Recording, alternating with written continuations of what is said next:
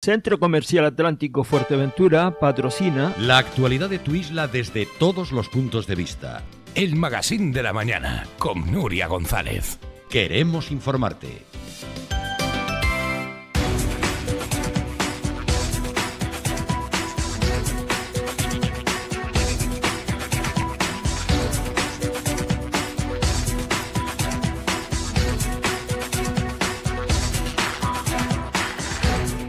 Bueno, estamos de vuelta en esta jornada de jueves, día 16 de mayo, y lo hacemos ahora con el diputado socialista Manuel Hernández. Bienvenido. Muy buenos días, Nuri, y buenos días a todos los oyentes de Onda Fortentura. Abríamos además esta semana con las declaraciones de esa valoración de, las elecciones en Cataluña, que la verdad que han arrojado un resultado estupendo para el Partido Socialista, las cosas como son. Lo hacíamos con Manuel Hernández, lo hacíamos con la presidenta del Partido Socialista, con Marlene Figueroa. Y bueno, esto supongo que también al partido le ha dado, después de un bache como el que llevan ustedes atravesando, un presidente que se ha tenido que, bueno, pues mm, reflexionar sobre la continuidad, las presiones recibidas, etcétera. Bueno, el resultado este me imagino que será un golpe de amor propio. Mm.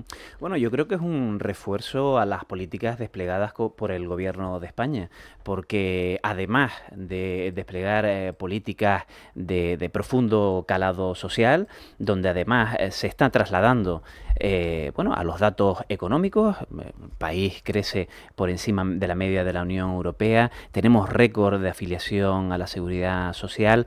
Eh, por tanto, además de todo esto, eh, pues efectivamente encadenamos un proceso electoral que empezaba con las elecciones vascas donde el Partido Socialista en el País Vasco sacaba un buen resultado que le va a permitir eh, seguir gobernando junto con el PNV y encarábamos las elecciones catalanas después de bueno después de 10 años de inestabilidad institucional de enfrentamiento entre los propios catalanes y entre eh, la propia Cataluña con el resto del país. Y lo que ha demostrado eh, las elecciones del pasado domingo es un refuerzo a las políticas de Pedro Sánchez. Él lo venía a decir el, pasado lunes, el perdón tiene un efecto sanador y creo que comienza una nueva etapa, no solamente en Cataluña, sino en el conjunto del país, dejando atrás el proceso y centrándonos en lo que realmente preocupa a la ciudadanía. Las políticas de empleo, las políticas hídricas, las políticas eh, que permiten generar oportunidades de vida a la ciudadanía. Por tanto, eh, bueno, es verdad que ha sido un espaldarazo al Partido Socialista y que nos permite encarar el siguiente, el siguiente capítulo electoral, que será el 9 de junio, las elecciones europeas, pues bueno, pues con, eh, mucho mayor ánimo y además integrando la candidatura del Partido Socialista por Canarias el compañero Juan Fernando López Aguilar fue candidato del Partido Socialista a la Comunidad Autónoma de Canarias, ministro de Justicia y que en los últimos años ha destacado en el Parlamento Europeo precisamente por su labor. Por tanto, para nosotros es un orgullo que Juan Fernando eh, forme parte de esa candidatura y además que lo tendremos eh, mañana por aquí, por la isla, por, por Feaga. Bueno, sí, estará por aquí Juan Fernando López Aguilar. Sí, mañana nos va a visitar, ha hecho un hueco en su apretada agenda, porque es lógico, es un candidato además, eh, como sabemos que tiene una, eh, se trata de una candidatura a nivel nacional, pero ha querido estar presente en un evento como FEAGA, sabiendo la trascendencia que tiene no solamente para el sector primario de Fuerteventura, sino para el conjunto de la isla, por lo que representa, ¿no? Estamos ya en va a ser la 37 edición de FEAGA. Además, escuchaba con mucha atención eh, tanto a Ángeles como a Raico, dos referentes del sector, cada uno en su ámbito. Lo son, lo son. Y creíamos, además creíamos oportuno, y él además lo ha considerado así, que había que estar en, FEAGA, sobre todo por eh, la capacidad eh, que se tiene en las instituciones comunitarias para seguir impulsando y seguir prestando apoyo al, sector primario. Bueno, pues Juan Fernando López Aguilar, es verdad que no habíamos hablado mucho de Juan Fernando López Aguilar, a pesar de su mm, cargo dentro del Parlamento Europeo, hasta que no ha llegado el enorme debate de las tierras raras en Fuerteventura, puesto que fue Juan Fernando López Aguilar quien abrió este debate y quien propuso al Parlamento Europeo los estudios, el, censo de si tenemos o no tenemos este mineral para competir con, otros países y a partir de ahí Gustavo Matos lo solicita al Parlamento y cuenta con el apoyo y todo el resto de la historia que ya hemos repetido hasta la saciedad. Ayer mismo Manuel Domínguez entraba en directo en Onda Fuerteventura para dar un mensaje de tranquilidad a los vecinos. Decía que se estaba trabajando desde el minuto uno por parte del gobierno de Canarias para que ni Satocán tuviera acceso a esas prospecciones, ni tampoco otras empresas pudieran solicitarlas, pero que además esto no supusiera un desembolso ingente de dinero público por aquello de haber dado primero un ok a una empresa y luego retirarlo, ¿no? Porque esto puede tener, desde luego, que una una sanción o puede repercutir en la empresa que puede pedir, eh, bueno, nos podemos ver como está ocurriendo a día de hoy con la famosa moratoria turística que el gobierno de Canarias sigue pagando por tomar decisiones eh, sin tener en cuenta el plano, el plano jurídico. Bueno, donde eh, ha habido acuerdo, ha habido consenso en el Parlamento a la hora de entender que por parte de las universidades públicas, bueno, se hagan, eh, como se hace con respecto a otras cuestiones, bueno, diferentes estudios, diferentes investigaciones eh, sobre elementos de interés. Y, ahí es donde, digamos, el Partido Socialista ha puesto el foco que además, como bien comentabas, recibió el apoyo de todos los grupos parlamentarios. Aquí lo que ha ocurrido es algo bien diferente. Es que, bueno, una empresa con sus legítimos intereses empresariales, presuntamente ha utilizado esos estudios para presentar unas solicitudes de autorización. Y la realidad es que el posicionamiento del Partido Popular hasta hace cuatro semanas, hasta hace un mes, era muy distinto al que conocemos hoy. Y bueno, eh, aquí lo que ha ocurrido es que el Parlamento de Canarias ha lanzado un mandato claro al gobierno de Canarias, que es que no se puede llevar a cabo estas prospecciones teniendo en cuenta que existe un rechazo claro de la ciudadanía y que también existe un rechazo claro del Cabildo y de los seis ayuntamientos de la isla. A partir de aquí, estamos ante un mandato político y quien se tiene que poner eh, manos a la obra es el gobierno de Canarias articulando un decreto ley que establezca el marco normativo para poder, eh, bueno, paralizar o eh, poder tramitar en el sentido correcto ¿Y está trabajando en eso el gobierno de Canarias? Damos por hecho que está trabajando en ello porque si no sería una auténtica burla a los 56 a los 66 diputados del Parlamento que votaron a favor de esta proposición no de ley. Aquí lo que ha ocurrido desde entonces es que bueno, ha habido una serie de anuncios que han creado falsas expectativas en una parte de la población. Eso es lo que ha ocurrido desde la votación en el Parlamento hasta el día de hoy. Habido un anuncio relativo a que la empresa iba a retirar las solicitudes, de que iba a dar marcha atrás y bueno, eh, nosotros hemos eh, hecho, como es lógico, con nuestra labor parlamentaria, nuestras indagaciones y efectivamente no hay en el registro de la Dirección General de Industria ningún escrito por parte de la empresa desistiendo de estas autorizaciones. Eh, por tanto, lo que sí pedimos, al menos los diputados del Partido Socialista, es rigor, sobre todo para no generar falsas expectativas y eh, lo que le pedimos al gobierno de Canarias es que, repito, se ponga manos a la obra porque la pelota está en su tejado. Tiene un mandato del Parlamento, tiene un mandato de la ciudadanía de Fuerteventura y tiene un mandato de las instituciones de Fuerteventura. Por tanto, bueno, me alegra que el señor Domínguez haga esas declaraciones pero quizás lo que hay que hacer es hablar menos y trabajar un poco más, que precisamente él no está brillando en su labor como vicepresidente del gobierno por esta cuestión. Bueno, precisamente Manuel Domínguez ayer rompió su silencio porque era eh, justamente el consejero que tiene el área en la Dirección General de Industria y ha sido la voz que menos ha sonado. Esto creo que es simplemente justicia, ¿no? Hemos escuchado hablar al presidente del Gobierno de Canarias, hemos escuchado hablar a la presidenta del Cabildo de Fuerteventura, obviamente, representando los intereses de los vecinos, a los seis ayuntamientos. Hemos escuchado también mucho ruido político por parte de algunas organizaciones, pero no habíamos escuchado en ningún modo al señor Manuel Domínguez sobre lo que ocurría. Creo que ayer esta forma de mm, responder decía, bueno, no sé si la declaración de mm, que Satocán ha renunciado ha sido la mm, solución o puede haber sido un problema. Cuando el gobierno está trabajando internamente, insisto en que esto no repercuta en el bolsillo de los vecinos, porque Satocán perfectamente puede ahora mismo pedir Yo creo que las prisas a la hora de lanzar titulares, las prisas son malas consejeras eh, y yo creo que eso es lo que ha ocurrido en esta ocasión. Eh, mira, Nuria, yo sí he escuchado al señor Domínguez, lo he escuchado en comisión parlamentaria una semana antes de que el Pleno aprobara la PNL rechazando las tierras raras. Con la respuesta de Natalia Santana. Y en esa comisión, y efectivamente, y en esa comisión parlamentaria, eh, bueno, lo que vino a decir es que él tenía un mandato y que tenía una ley que cumplir y que él no iba a paralizar estas autorizaciones. Por tanto, lo que ha ocurrido desde entonces hasta la proposición no de ley aprobada por el Parlamento es una respuesta clara y contundente de la ciudadanía, creo que es a quien hay que poner en valor, al, movimiento vecinal y al movimiento ciudadano que eh, bueno eh, denunció la situación y después, por supuesto, a la presión política por parte de las instituciones y por parte del resto de los grupos parlamentarios que hicieron que el Partido Popular se aviniera a eh, bueno a aceptar la proposición no de ley en los términos en los que está redactada. La pregunta es, y se lo haremos llegar a Juan Fernando López Aguilar mañana, si tiene a bien pasar por nuestro, por nuestro stand. La pregunta es, Juan Fernando López Aguilar es quien instruye al Parlamento de Canarias, perdón, europeo, de que hay que buscar esta, estas tierras raras. Es su compañero de partido, Gustavo Matos, quien contagia este fervor al Parlamento de Canarias.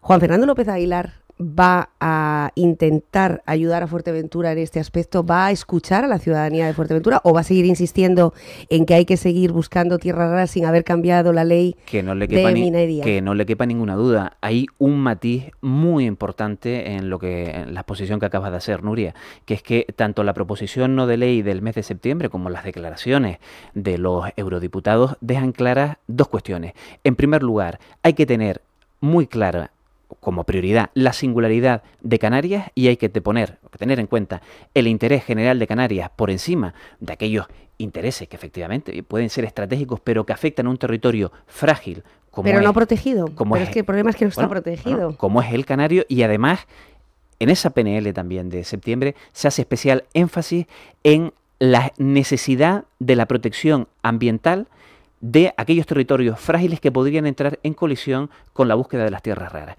Es una realidad que eh, las materias primas críticas juegan un papel eh, importantísimo en el desarrollo tecnológico mundial. Eso es una obviedad eh, incontestable.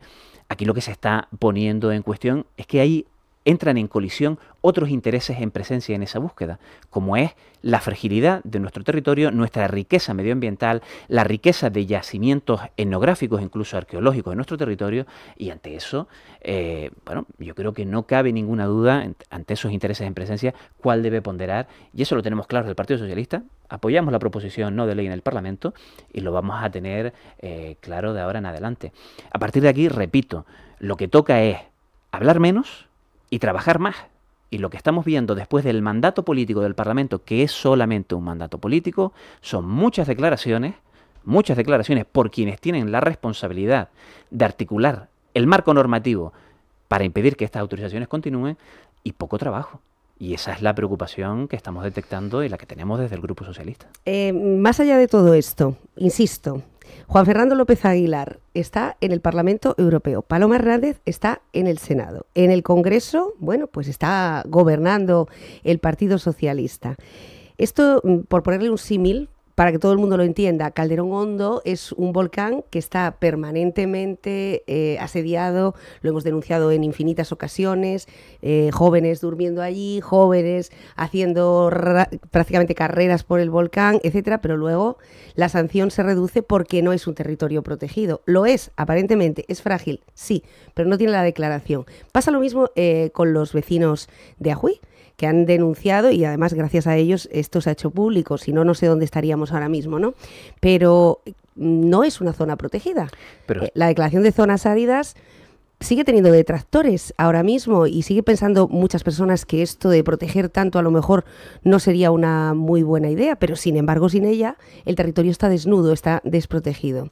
Y la ley de minería, porque ustedes están en los lugares donde pueden cambiar las cosas. No, pero es que es importante que pongas este asunto sobre la mesa porque es que quien tiene la competencia para legislar sobre las explotaciones mineras es el gobierno, de, Canarias. Entonces, bueno, yo entiendo la estrategia de coalición canaria y de Partido Popular de mirar siempre para arriba, ¿no? El problema siempre es del gobierno de España y bueno, ya nos vamos ya al Parlamento Europeo. Pero no, no, no, hay que hacer los deberes en casa. Aquí quien tiene la competencia, y es lo que ha mandatado el Parlamento, es que el gobierno de Canarias legisle sobre esta cuestión, como han hecho otras comunidades autónomas. Está la comunidad autónoma de Extremadura, que ha legislado sobre esta materia, sobre eh, los yacimientos eh, mineros de las, diferentes secciones reguladas en la ley de minas, que efectivamente eh, se está tramitando, además, se ha iniciado ya los trámites de su modificación, pero es que no podemos obviar que nuestro Estatuto de Autonomía del 2018 nos atribuye competencias sobre la materia. Y por tanto, por eso no hemos visto al gobierno de Canarias hablar del gobierno de España, de las pocas veces Hemos hablado, hemos escuchado a prácticamente todo el mundo hablar de la ley de minas. El gobierno de Canarias no lo hace. ¿Por qué no lo hace? Claro, lógico, porque es que son ellos los que tienen la competencia. Y lo que estamos pidiendo los parlamentarios socialistas es que el gobierno de Canarias, como suele hacer en prácticamente todos los asuntos, que es mirar para atrás al Pacto de las Flores o mirar para arriba al gobierno de España, lo que tiene que hacer es mirar para adelante y dar respuesta a los problemas que tiene la ciudadanía. Y uno de ellos, al menos en el ámbito de Fuerteventura, es el problema de las tierras raras. A partir de aquí, eh, bueno, eh, eh, el problema de las tierras raras surge porque genera efectivamente una afección medioambiental, una afección a nuestro entorno natural que no se puede contrarrestar con otros mecanismos compensatorios. Eso no quiere decir, bueno, que efectivamente hay determinadas actividades económicas que pueden ser complementarias con la protección y la puesta en valor de nuestro paisaje. Yo creo que eso nos obliga también, eh, como decía, a ser, eh, al menos por parte de quienes tienen la responsabilidad, a ser eh, responsables con las declaraciones y hablar con, con rigor para precisamente no generar tampoco falsas expectativas en la ciudadanía ni generar, bueno, como ya digo, esa frustración como la que se está produciendo en eh, los vecinos y vecinas de Ajuy al ver unas declaraciones mm, hechas con, rotundidad que eh, no se han materializado en los documentos que debe presentar la empresa. Por cierto, los vecinos van a estar en FEAGA, van a estar desde el 16 hasta el 19 para aseguran proteger Fuerteventura de las minas de tierras raras. El jueves, hoy, desde las 7 hasta las 9.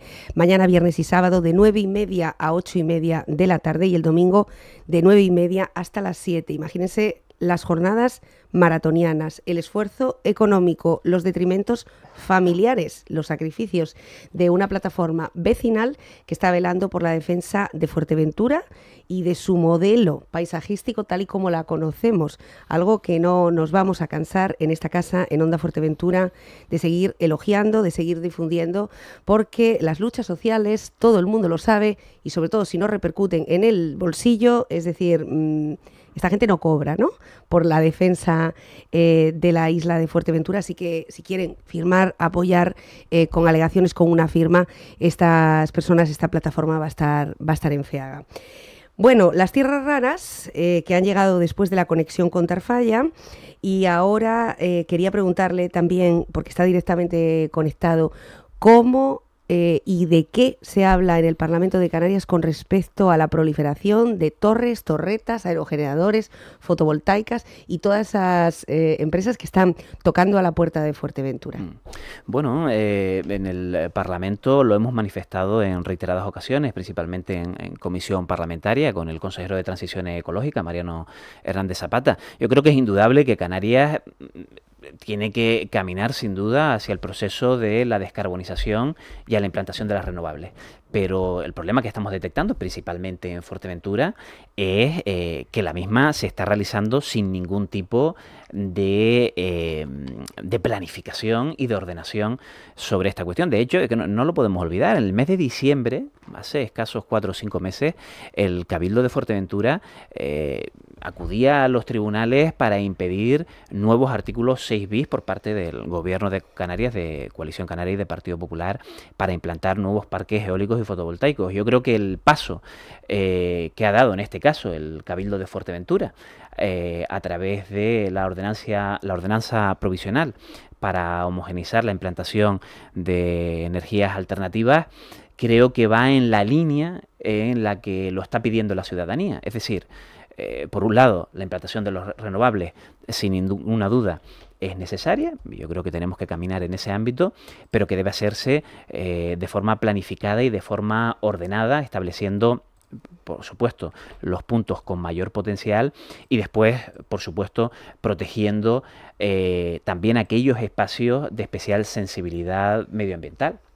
Y yo creo que la ordenanza que está ahora mismo en exposición eh, pública en el marco del trámite de evaluación ambiental por parte del Cabildo es un paso importante, es un paso importante eh, que además deja al margen pues aquellos espacios bueno vinculados con la red Natura 2000 aquellas zonas zonas cepas hábitats de interés comunitario creemos que esa ordenanza es el, el, instrumento eh, bueno, que puede eh, permitir esa implantación ordenada. Ahora, la realidad, verdad, la realidad es la que estamos viendo. Cuando uno eh, va por la autovía hacia el norte, el, paisaje es cuanto menos chirría, vamos a, vamos a dejarlo ahí. Y, y bueno, al menos existe el compromiso por parte manifestado en palabras por parte del gobierno de Canarias, al cual nosotros vamos a hacer un seguimiento de no dar ningún paso sin que las instituciones locales y la institución insular tenga conocimiento y tenga, digamos, el, beneplácito. Haremos un seguimiento de esta cuestión, como es lógico. Combustible, Manuel Hernández, porque también ha sido otra de las grandes batallas. Parece que la semana pasada tampoco se dejaba claro si las islas como Lanzarote y Fuerteventura tenía, tenían, teníamos derecho ¿no? a esa exención y el debate ha girado, que no, no, no debería de ser incorrecto esta medida, a que se base en estudios. Es decir, que mm. esto no sea simplemente un posicionamiento político porque sí, que creo que apuntaba Jana González, que se base en estudios, que se evalúe cuánto cuesta la gasolina en Fuerteventura, eh, qué, qué, qué contexto tenemos en Fuerteventura, cuál es nuestra red viaria, en fin, todo lo que tenemos, cesta de la compra la más alta de Canarias. Conclusiones. Bueno, la conclusión es muy clara del pleno de hace 10 días. Coalición Canaria y Partido Popular rechazan por tercera vez bonificar el combustible en Fuerteventura y Lanzarote. Eh, mira, Nuria, eh, no hubo informe eh, específico para las Islas Verdes para aplicar la bonificación. Se decidió que la bonificación tenía que ser de 20 céntimos para todas las Islas Verdes por igual, para La Palma, La Gomera y para el Hierro. Es verdad que siendo la situación del Hierro y La Gomera mucho más gravosa que la de la isla de La Palma, que es perfectamente comparable a la de Fuerteventura. Nosotros eh, está muy bien que se hagan los estudios, claro que sí, por supuesto. Lo que estamos diciendo es, oiga, usted aplique la bonificación como ha hecho a la de las Islas Verdes de forma proporcional, sin perjuicio de que efectivamente usted haga los estudios y tenga que modular esa bonificación, porque el mercado de hidrocarburos fluctúa y no es el mismo eh, hace tres meses que en el día de hoy. Pero lo que estamos pidiendo es la misma agilidad y el mismo compromiso político con Fuerteventura y Lanzarote que se ha tenido con las Islas Verdes. Y eso no es lo que hemos visto eh, por parte de Coalición Canaria y Partido Popular. A día de hoy, los habitantes de Fuerteventura y Lanzarote, función de las estaciones de servicio, obviamente, en la que reposten, pagan el combustible más caro de toda Canarias. En la isla del Hierro, hace 10 días, el combustible estaba a, a 98, recuerdo, a 1,737. En Fuerteventura, a 1,539, con la bonificación de 20 céntimos del combustible en la isla del Hierro. Bueno, eh, se paga eh, combustible más barato en la isla del Hierro. Eh, el Partido Socialista lo ha dicho claramente. Nosotros no nos oponemos, al revés, nosotros apoyamos la bonificación al combustible de las islas de La Palma, La Gomera y el Hierro. Lo que estamos pidiendo es un trato justo y equitativo y proporcional a las islas de Fuerteventura y Lanzarote. Pero es que el absurdo llega hasta tal punto que la consejera de Hacienda en una interpelación parlamentaria que le presento, me viene a decir que, bueno, que es que, claro, que es que en Fuerteventura y Lanzarote hay muchos turistas. Entonces, ¿qué me está diciendo? ¿Que el problema de no aplicar la bonificación a Fuerteventura y Lanzarote son los turistas? ¿Los turistas que se están beneficiando de la bonificación también a día de hoy en la isla del Hierro, de La Palma y de La Gomera? Eh, yo creo que aquí bueno, lo que ha habido por... por, por, Pero ¿cuál es, el, cuál es la, el valor o no de tener turistas? No, sé qué quería eh, decir la consejera. El, el, incremento presupuestario que supone bonificar el combustible, porque primero empezaron diciendo que en las Islas Verdes hay 110.000 habitantes frente a los 290.000 habitantes de Fuerteventura y Lanzarote. Que, les va a salir a. Claro, claro, que el problema era la población. Ahora resulta que, bueno, que la población, bueno, que sí, que el problema es la población, pero claro, el problema son los turistas, que es que vienen muchos turistas y, claro, se beneficiarían de la bonificación, que quizás... ¿Y de la continuidad del eje norte y sur habló la consejera o...? No, no, la consejera... La consejera... ¿O de nuestra carretera única para poder acceder al sur actualmente y ellos al norte? precisamente no se... no destacan por, por hablar ni de los problemas de, de, Fuerteventura, ni tampoco de aportar soluciones a los problemas de Fuerteventura.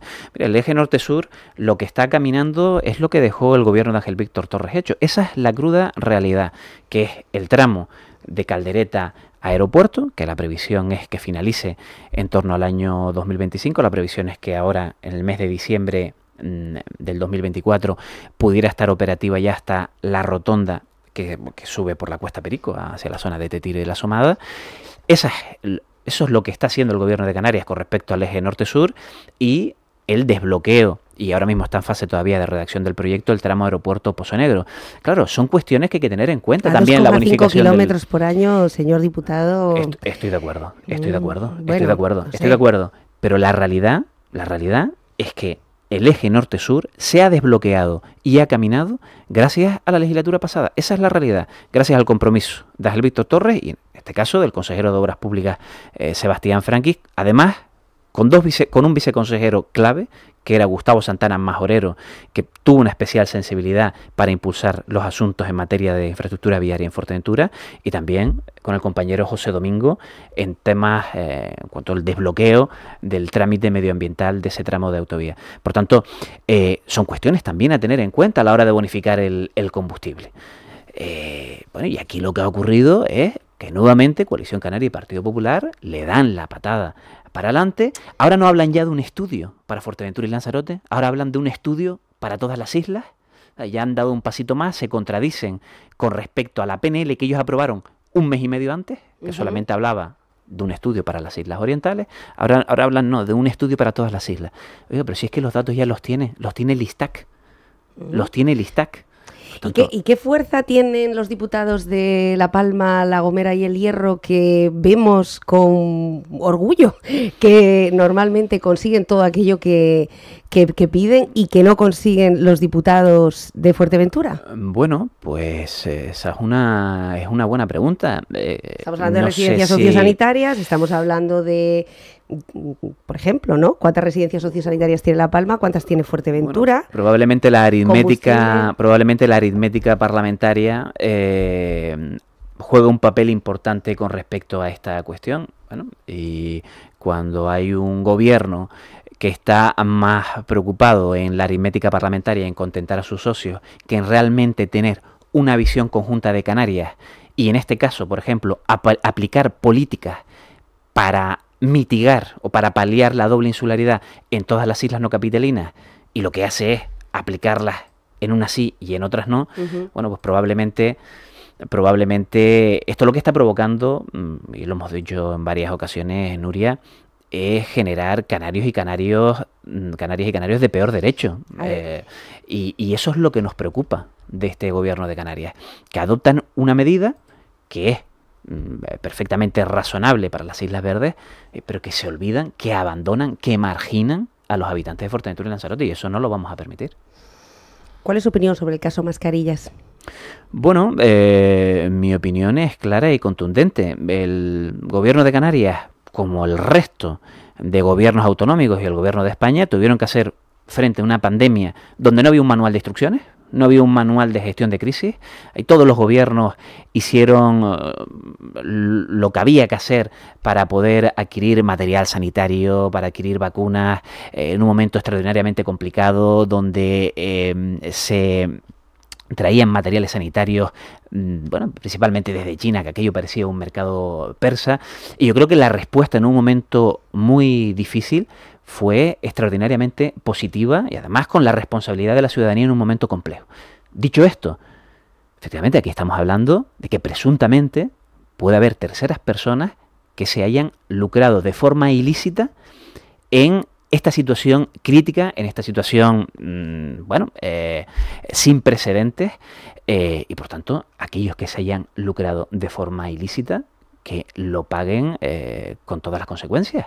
Eso, vamos, que yo creo que no hay nadie, por supuesto, no hay nadie en el Partido Socialista que no diga que aquellas personas que se hayan lucrado de forma ilícita en un momento de extraordinaria dificultad, donde aquellas personas que tenían la responsabilidad de gobernar y de evitar los fallecimientos como tristemente en aquella época se producían, que eran morían al día decenas, cientos, incluso miles de personas a diario en todo el mundo, eh, bueno, mm, yo creo que el Partido Socialista va a ser responsable, lo estamos haciendo en las comisiones del Congreso y el Senado, y el próximo lunes eh, en el Parlamento de Canarias eh, se constituirá la comisión de investigación sobre este asunto, de la cual voy a formar voy a formar parte en representación del grupo parlamentario socialista y bueno mm, yo creo que es importante mm, que se ponga luz y taquígrafos en relación a, la gestión sanitaria.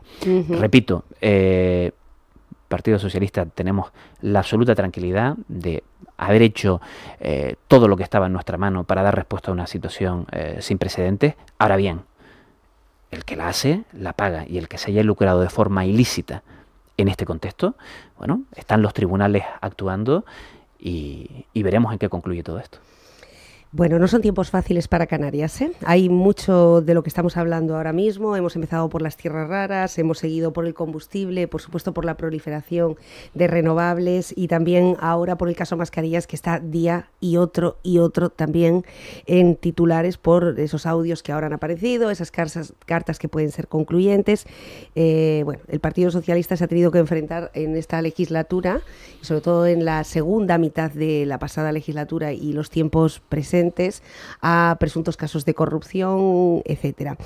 Eh, por parte de algunos miembros, quiero decir. Bueno, yo creo que es importante eh, en este contexto, bueno, porque este tipo de situaciones eh, se pueden producir, es, muy complicado que, bueno, se puedan producir presuntos comportamientos irregulares. Aquí lo importante, aquí lo importante es cómo se responde y cómo se actúa ante esos presuntos casos eh, irregulares o de presunta corrupción. Y yo creo que aquí el Partido Socialista eh, ha sido implacable. El Partido Socialista no puede recibir lecciones absolutamente nadie.